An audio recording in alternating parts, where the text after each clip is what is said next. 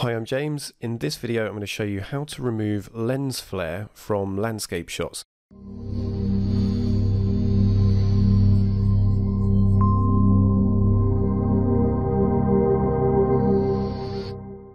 This is a common problem when you're shooting at sunrise or sunset, and like in this image here, you've got the sun just about to go under the horizon, and then we get these spots here.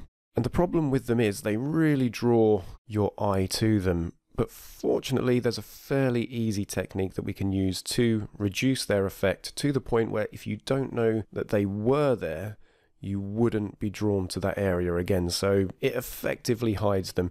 When you've applied the technique, you will be able to see the difference between that area and the surrounding area. But the most important thing is that the effect is reduced to the point where it is practically invisible.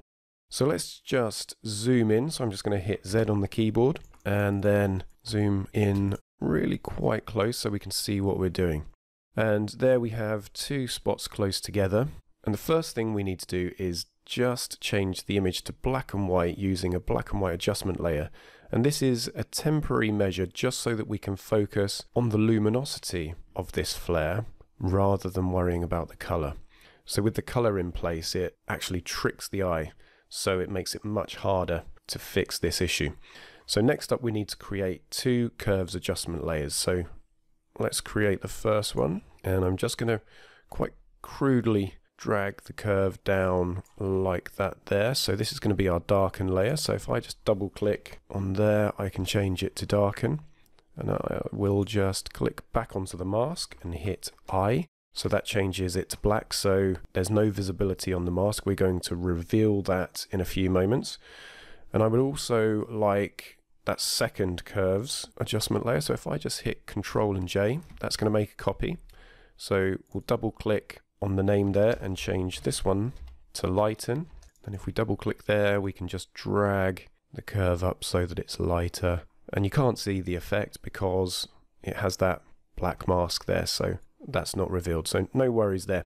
The lighten layer is the least likely to be used, but it just saves time if we actually make it now. It's just if we make a slight mistake and we go too far with the darken, rather than messing around on this mask, we can work on a completely separate one.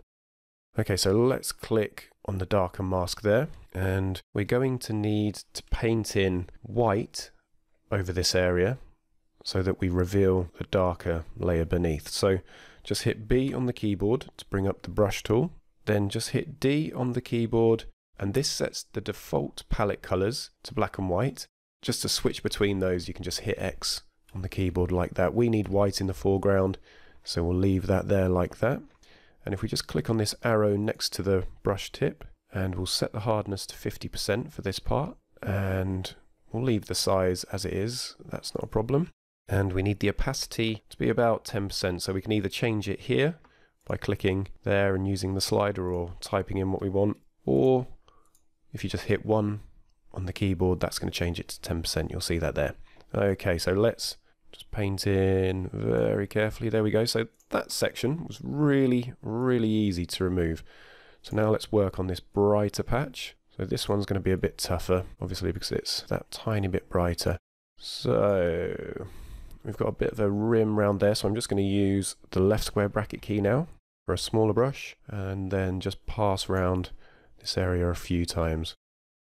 So, look at that. How good is that? If only we could finish at this point, but no, we have a, a few more steps.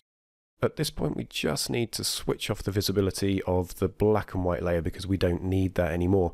In fact, we could just drag that down to the dustbin at the bottom of the layers panel because we are completely done with that.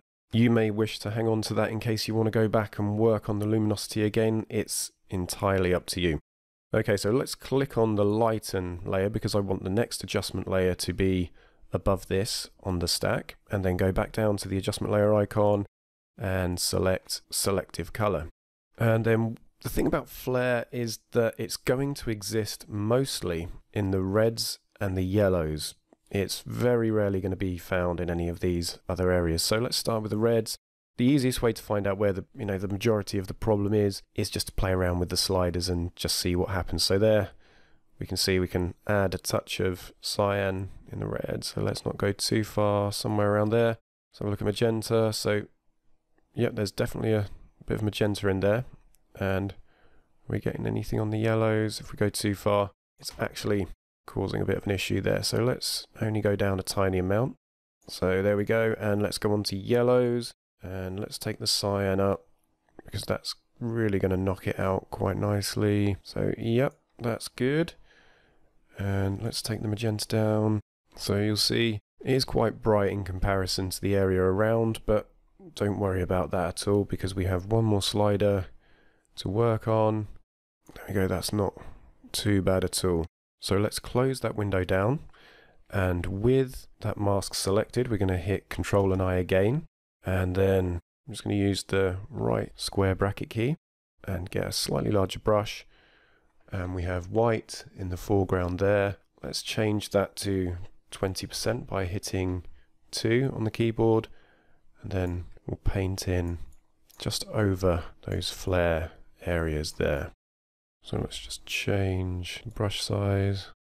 So I would recommend taking a lot more time over this than I am because you'll get a much better result if you do take your time. So you'll see here the blend isn't quite right. So the next thing we need to do is create another layer and this one will allow us to sample the surrounding color and then use it in this area so that we can blend it further. So just hold down Control Shift and N on the keyboard and we'll just call this one color so we know what it was for at a later date. We'll just change the brush. So hardness is currently set to 50%, so I'll just take that down to zero. And let's make the brush slightly larger. I think, yep, that's good. And then if you just hold down Alt and then left mouse click, we have a sample from there. So let's just paint that in.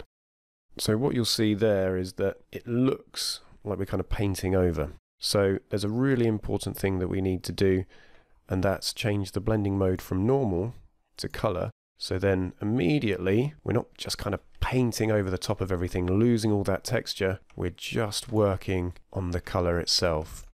Let's get rid of all the red and the yellow.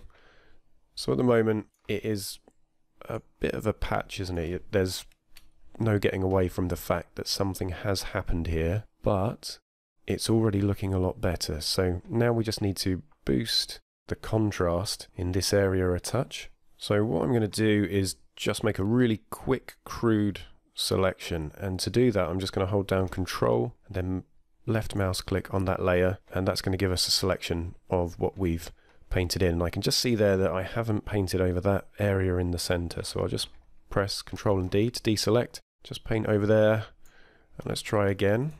There we go. And we'll just go down to the adjustment layer icon and we'll select curves from the list of options and we'll just create a really basic S curve. Let's try and get it as close as possible. So if we just bring that bright part, there we go. That's not too bad. Okay, so that's our contrast. We'll just close that down.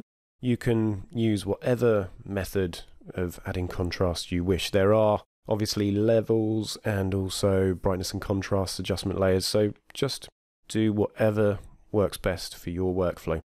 So just to finish off, we're going to do a tiny amount of cloning just to actually make it blend a touch better. So I'm just going to hold down Control and Shift N to create a new layer, and let's call this spotting.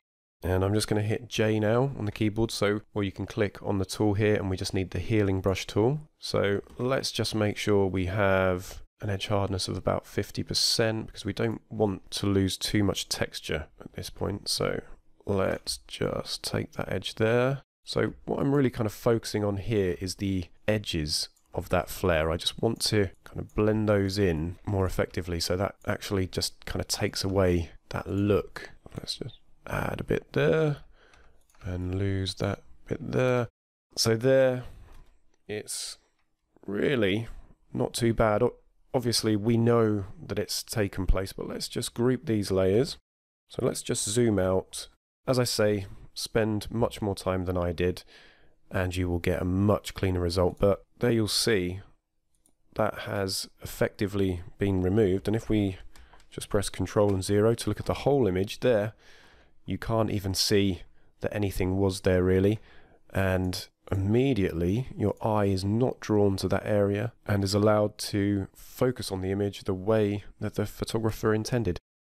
So, as I say, spend much more time to really get a good result, but that is basically how to remove flare spots from your landscape images in Photoshop.